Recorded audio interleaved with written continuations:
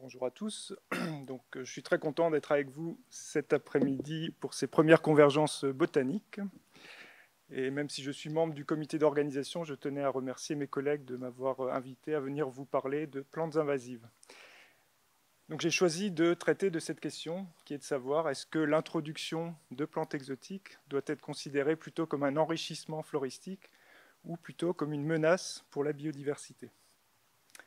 Vous l'avez peut-être remarqué, lorsqu'on évoque ce sujet, on peut rapidement tomber effectivement dans un débat un peu polémique, avec d'un côté des personnes qui vont être plutôt dans le catastrophisme et qui vont présenter systématiquement les espèces exotiques envahissantes comme la deuxième ou troisième cause d'érosion de la biodiversité à l'échelle mondiale. Et de l'autre côté, des gens qui sont plutôt, on va dire, dans le déni de la problématique des plantes invasives. Leurs détracteurs disent même qu'ils sont négationnistes. Je n'irai pas jusqu'à utiliser ce terme, je pense qu'ils sont plutôt dans une critique qui est parfois justifiée quand on voit comment la presse généraliste des fois reprend ce sujet. Donc c'était au moment de la publication du règlement de l'Union européenne sur les espèces exotiques envahissantes. Le Monde titrait Espèces invasives, la guerre est déclarée, avec une iconographie plutôt angoissante. Alors, les critiques qui sont émises par Marc Sagoff, un philosophe américain, et qui ont été popularisées en France par Jacques Tassin, elles sont de, de divers ordres. Il y a l'idée qu'il faudrait juger les espèces plutôt selon leurs impacts que selon leurs origines. Sous-entendu, il y a des espèces indigènes qui peuvent également être problématiques. Et se focaliser sur les exotiques serait une forme de bioxénophobie. Alors, les milieux de gestion et de conservation de la nature en prennent aussi pour leur grade dans, l'ouvrage de Jacques Tassin. Ils sont qualifiés de trop fixistes, de trop conservateurs par rapport à l'arrivée de ces nouvelles espèces exotiques. Et in fine, il y a une remise en cause de la notion même d'impact environnemental. Alors, si vous avez déjà lu certains de mes écrits, vous savez que je développe plutôt ce qu'on pourrait appeler la voie du milieu entre ces deux extrêmes. Euh, bien sûr, il faut rappeler que la majorité des introductions de plantes ont été bénéfiques à l'humanité et que même dans le cas de certaines espèces exotiques euh, répandues sur notre territoire, il faut des fois savoir gérer en tenant compte des enjeux locaux, savoir peser le pour et le contre, par exemple dans le cas du robinier faux acacia. Tout cela, bien sûr, sans minimiser les impacts qui peuvent être réels. Donc dans la suite, je vous propose trois grandes parties. Une première, on va revenir un peu sur des définitions. Une deuxième, on va s'intéresser un peu au bilan des impacts de ces espèces. Et en dernier lieu, se demander est-ce que l'origine compte ou non. Donc qu'est-ce qu'une plante invasive? Dans une interview au Monde, Jacques Tassin disait qu'il n'existe aucune définition consensuelle précisant ce qu'est une plante invasive. Pour vous démontrer le contraire, je vais utiliser ici le schéma du continuum introduction, naturalisation, invasion proposé par Blackburn et al. Ces scientifiques considèrent qu'il y a quatre grandes étapes dans le processus d'invasion. Donc une première étape de transport, puis d'introduction, d'établissement et d'expansion. Pour passer d'une étape à l'autre, les plantes doivent franchir un certain nombre de barrières, représentées en rouge. Donc dans le premier stade, finalement, l'espèce, le stada, est dans sa zone d'origine, elle est considérée comme indigène. la première étape, c'est donc le transport de plantes ou de propagules de plantes et euh, leur arrivée sur un nouveau territoire. Cela donc grâce aux activités humaines qui permettent de franchir des barrières géographiques qui sinon n'auraient pas pu être franchies de manière naturelle. Donc à partir de là, on est défini comme une plante non indigène, alloctone ou tout simplement introduite, donc des termes synonymes. Alors il y a différentes manières d'être introduites. Il y a des plantes, la flèche B, elles sont strictement cultivées. Donc elles ont besoin d'un arrosage ou d'être maintenues en serre. Elles ne peuvent pas s'échapper dans, dans, le milieu naturel. Certaines d'entre elles arrivent à le faire, et donc dans ce cas-là, la flèche C2, on va parler de plantes subspontanées, qui ont réussi à franchir la barrière de la culture.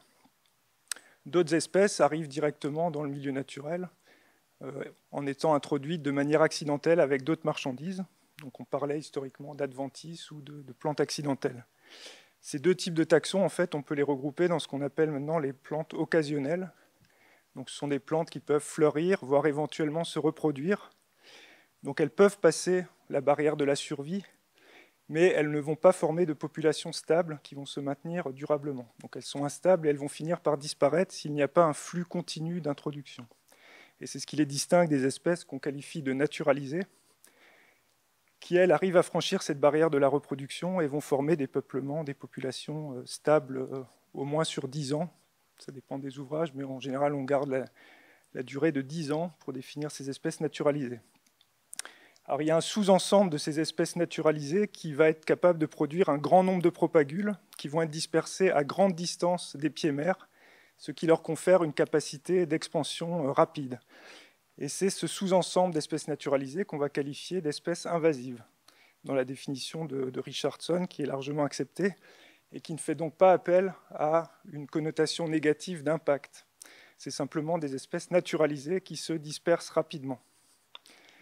C'est seulement un sous-ensemble de ces espèces invasives qui vont franchir une dernière barrière d'interférence biologique avec leurs espèces voisines et qui vont donc avoir des impacts potentiellement sur l'environnement. Ce qui est intéressant aussi dans ce schéma, c'est de voir qu'à chaque étape, il peut y avoir des échecs dans le processus d'invasion, et que même parmi les espèces invasives, on peut avoir un phénomène qu'on appelle de boom and bust, donc des explosions démographiques, puis suivies de, de chutes à nouveau. Et bien sûr, on peut avoir des flèches dans l'autre sens. On cite souvent l'élodée du Canada, qui était une des premières plantes aquatiques invasives, qui est aujourd'hui simplement considérée comme naturalisée. Donc contrairement à ce que nous disait Jacques Tassin, on a bien quand même une définition scientifique de ce qu'est une plante invasive basée sur des processus. Euh, notamment l'article sur lequel je me base, il est cité 4000 fois, ce qui montre quand même un large consensus, sachant qu'en moyenne, un article est cité une fois. Maintenant, là où Jacques Tassin a quand même raison, c'est que le terme d'invasive, il est plutôt utilisé par les scientifiques. Les gestionnaires sur le terrain parlent plutôt d'espèces exotiques envahissantes, où il y a quand même cette connotation d'impact. Et il faut aussi bien voir que la définition et le schéma que j'utilise, il est adapté en fait à l'échelle des populations. Si on prend une espèce donnée, en fait, elle va avoir des individus tout au long de ce schéma. Avec l'exemple ici de Miscanthus sinensis, la plupart des individus aujourd'hui en France sont des individus cultivés. Il y en a de plus en plus qui sont occasionnels, comme ici, vous avez une population dans le Gard en bord de route, à côté d'un rond-point où elle était cultivée, et de plus en plus, vous avez des populations qui commencent à se naturaliser. Donc pour finir sur ce point de terminologie, on devrait finalement plutôt parler de population invasive plutôt que d'espèces invasives, pour ne pas stigmatiser une espèce dans son entièreté. Deuxième partie maintenant sur euh, le bilan des impacts positifs ou négatifs. Donc là encore, je vais partir d'une euh, citation de Jacques Tassin dans une interview du Monde. Donc il nous disait que l'idée de milieu naturel saturé en espèces a également volé en éclats. Dans bien des îles, le nombre d'espèces végétales a été multiplié par deux ou trois, sous-entendu avec l'arrivée d'espèces exotiques, sans qu'aucune plante indigène n'ait disparu. Alors en fait, il y a une confusion un peu entre les échelles régionales et locales dans cette phrase. Il est clair qu'à l'échelle qu'on appelle régionale en écologie, si on prend l'échelle de la France, on a, d'après Flora Gallica, environ 5300 espèces indigènes et 700 naturalisées. À cette échelle, on peut dire qu'effectivement, l'introduction d'espèces exotiques a enrichi notre flore de 12%, voire de 27% si on prend en compte toutes les espèces occasionnelles. Et effectivement, il n'y a pas eu d'extinction liée à ces introductions-là. Par ailleurs, on peut même dire que la plupart des espèces naturalisées ne sont pas problématiques, et beaucoup de botanistes dans cette salle font des kilomètres pour aller euh, cocher ou photographier certaines de ces espèces. Maintenant, est-ce que toutes les additions d'espèces sont vraiment euh, positives? Il y a aussi un certain nombre d'espèces naturalisées qui sont considérées comme invasives, une centaine à peu près, soit 14% des espèces naturalisées. Alors pour faire le bilan plus précisément de ces espèces-là, nous sommes allés sur le terrain mesurer leurs impacts avec des différents étudiants que j'ai encadrés ces dernières années. On a notamment mesuré l'impact de ces huit plantes invasives, choisies dans différents types biologiques. Et nous les avons euh, échantillonnées chacune dans deux habitats différents, avec 15 répétitions. Une unité d'échantillonnage, c'était une, paire de cadras avec un cadras positionné dans un patch d'espèces invasives et un cadras dans la communauté voisine considérée comme celle avant envahissement. Donc au total, on a eu comme ça 420 quadrats de 4 mètres carrés sur une zone qui couvre à peu près l'ex-Languedoc-Roussillon. Et donc là, vous avez euh, le résultat de, cette analyse pour les huit plantes invasives qui sont donc ici en abscisse. Et en ordonnée, vous avez le degré d'impact sur une échelle relative. Donc 0 signifie qu'il n'y a pas de différence entre les quadrats envahis et non envahis. Et plus on va dans les positifs, plus il y a un impact fort. Donc voilà le résultat pour les, huit plantes invasives. On voit une forte variabilité entre les espèces, qu'on peut expliquer par des caractéristiques différentes des, plantes invasives. Mais on voit aussi au sein d'une même espèce une forte variabilité, qui là peut s'expliquer euh, par le milieu récepteur, qui a aussi différentes caractéristiques, qui peut plus ou moins bien résister aux invasions. On voit donc que Carpobrotus est l'espèce qui a l'impact le plus fort, avec euh, une diminution de près de deux tiers à peu près des, espèces dans les dunes. À l'opposé, on voit ici Amorpha fruticosa, qui n'a pas d'impact, alors qui n'a pas d'impact sur la richesse spécifique.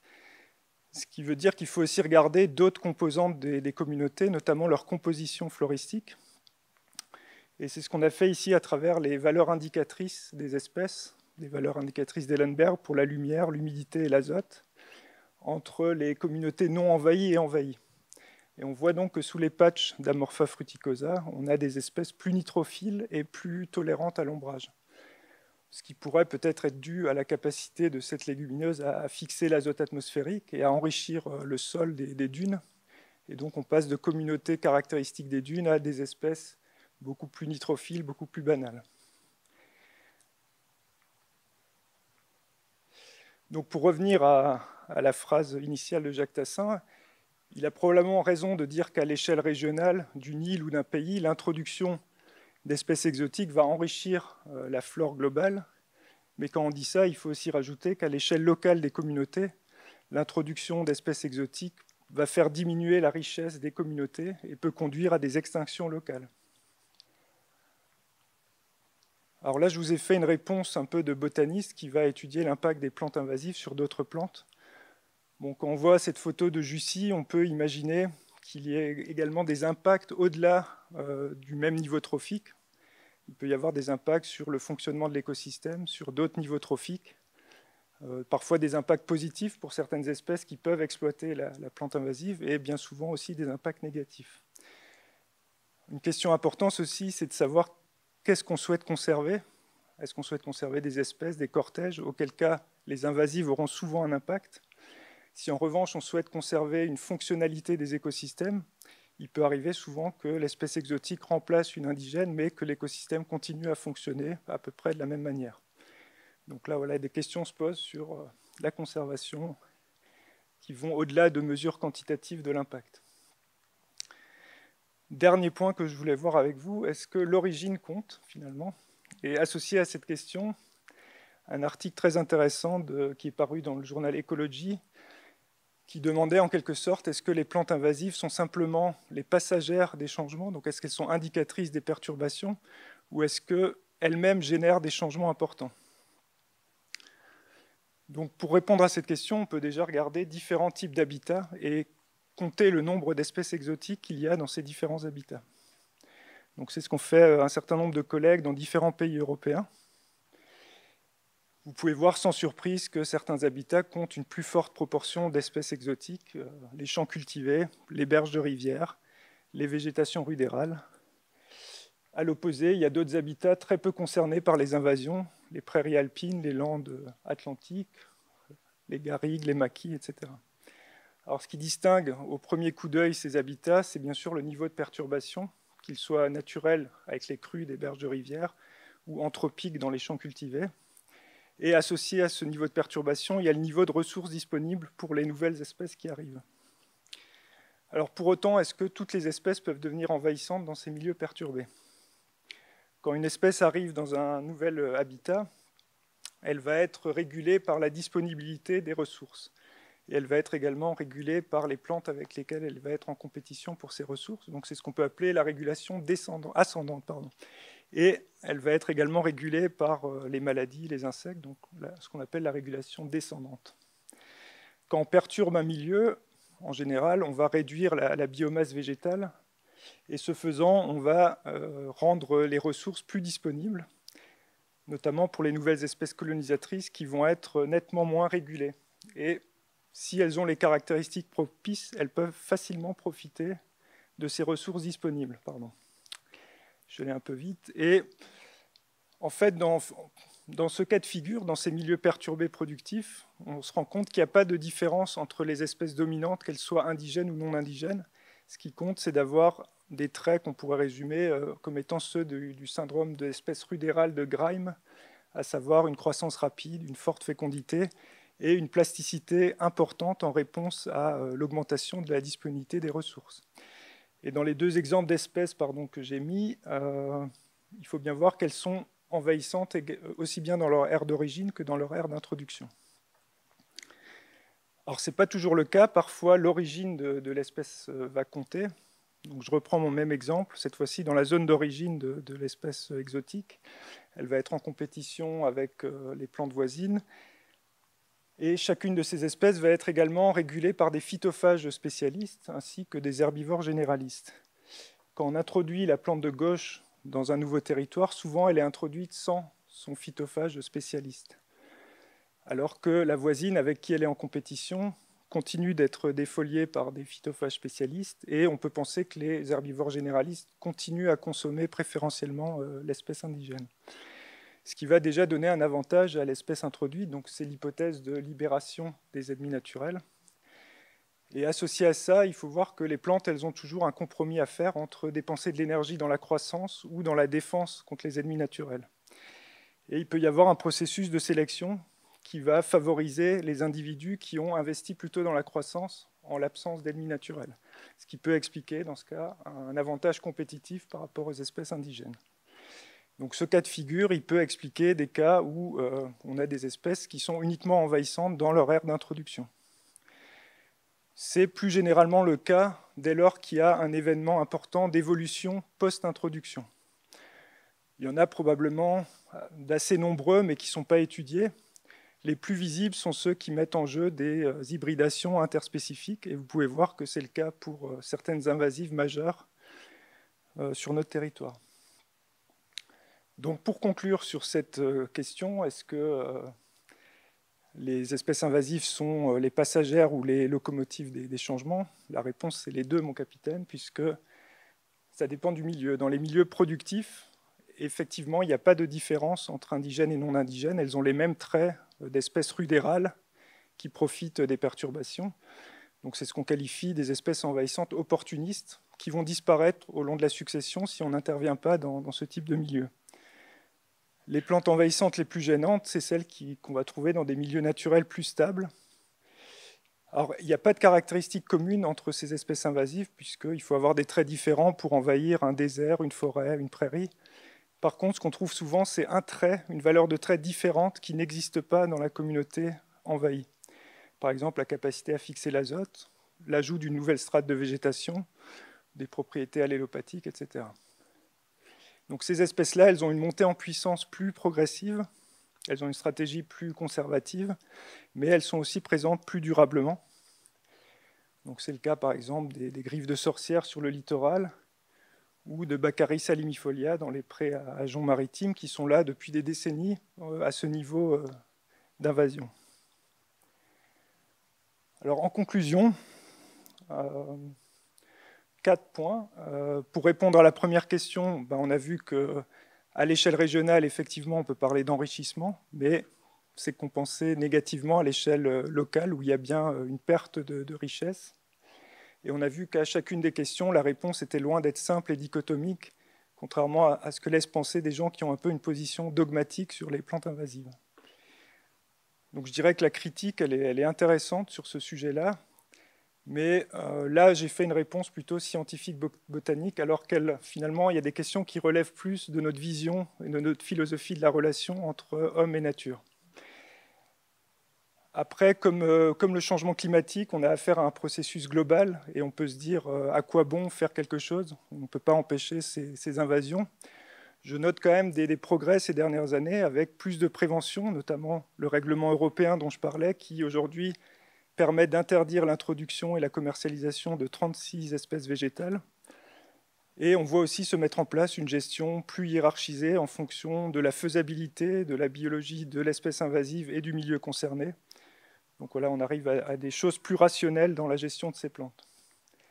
Je vous remercie et pour en savoir plus, vous avez quelques ouvrages sur le sujet.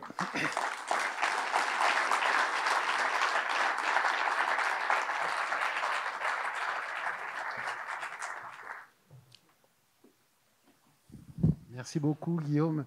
Euh, on voit, comme on l'évoquait en introduction, que ce sujet il est beaucoup moins évident qu'il n'en a l'air euh, de prime abord. Est-ce qu'il y a des questions pour Guillaume? Euh, oui. Tu nous as parlé en fait de finalement les plantes invasives essentiellement peut-être en France, sur lesquelles se basent ces travaux, ou en Europe. moi, ma question, c'est qu'en est-il sur le reste du monde, et notamment sur les milieux insulaires, où l'histoire évolutive est plus, peut-être plus courte que, sur les continents où il y a de la compétition depuis longtemps et où les milieux ont une certaine résilience.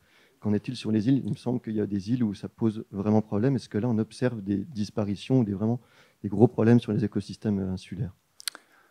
Oui, classiquement, effectivement, dans les îles, le problème est bien plus important. Maintenant, il y a eu surtout des extinctions d'animaux. Je ne suis pas sûr qu'il y ait des exemples de plantes qui aient vraiment disparu par d'autres plantes. Mais bon, effectivement, on a tous en tête, pour ceux qui connaissent un peu la Réunion, c'est une autre envergure, l'étendue des, invasions d'espèces végétales.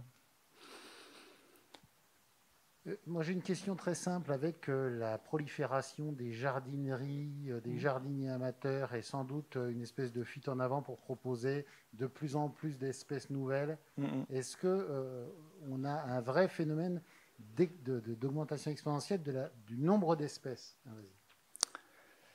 Alors, euh, j'ai peut-être pas encore le recul pour dire ça, mais c'est vrai qu'on observe énormément. Je pense, euh, ce qui m'inquiète actuellement, c'est tous les massifs de graminées où on trouve énormément d'espèces qui s'échappent. Et donc, euh, la tendance, oui, continue. même si, bon, il faut quand même dire que le milieu jardinerie, pépiniérie commence à être sensibilisé. Ils ont mis en place aussi un code de conduite. Bon, après, voilà, ils font un premier pas. Quoi. Il faut les accompagner pour aller dans ce sens-là. une dernière question là-haut.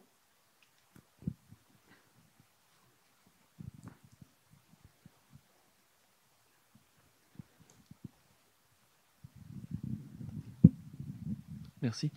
C'est simplement une remarque euh, par rapport au, système insulaire, euh, comme on, vient d'aborder. Euh, pour avoir passé quelques mois dans les terres australes et antarctiques françaises, la problématique des espèces envahissantes, est, elle est réelle, notamment sur, sur un des districts d'Amsterdam.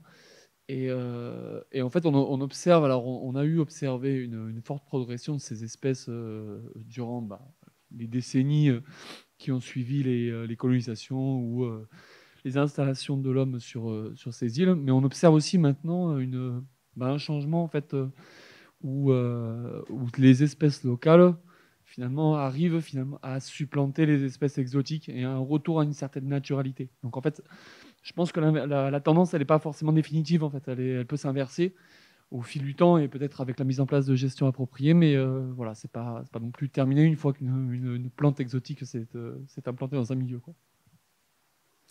C'est des choses qui ont été observées ici. On, la colère pas, par exemple, en Méditerranée, elle a finalement régressé. Bon, elle est remplacée apparemment par une autre espèce de colère pas. C'est un peu pareil pour l'élodée dont je parlais. Bon, maintenant, c'est plutôt Nutali qui est dynamique par rapport à Canadensis. C'est vrai que tout dépend de l'échelle temporelle qu'on prend aussi pour analyser ce phénomène. Euh, Merci beaucoup, Guillaume.